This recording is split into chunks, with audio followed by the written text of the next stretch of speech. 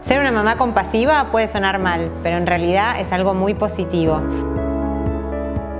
La compasión es la capacidad de aliviar el sufrimiento y de buscar prevenirlo. Las mamás muy perfeccionistas suelen tener un alto nivel de autocrítica, una voz muy fuerte que les dice todo lo que están haciendo mal, que les muestra sus defectos, sus errores y todo lo que no están logrando. Las mamás compasivas, por el contrario, tienen una voz dulce que las guía en el camino de la mejora continua, que las sostiene, que les da tranquilidad, que las calma, que las abraza.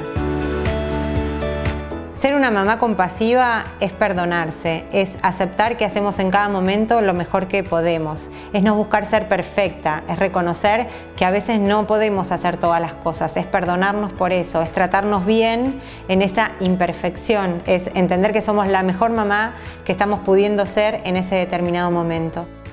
Y así les enseñamos a nuestros hijos también a aceptarse, a reconocer sus limitaciones, a ir por más sin criticarse tan duro, a cometer errores y a volver a empezar.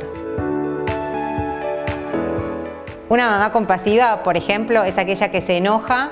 y después puede reconocer su enojo y pedir disculpas y se compromete a no volver a repetirlo, a intentar hacerlo mejor la próxima vez y está en paz en ese proceso, está en paz en el camino, no busca ser perfecta, se reconoce humana y sabe que muchas veces puede fallar.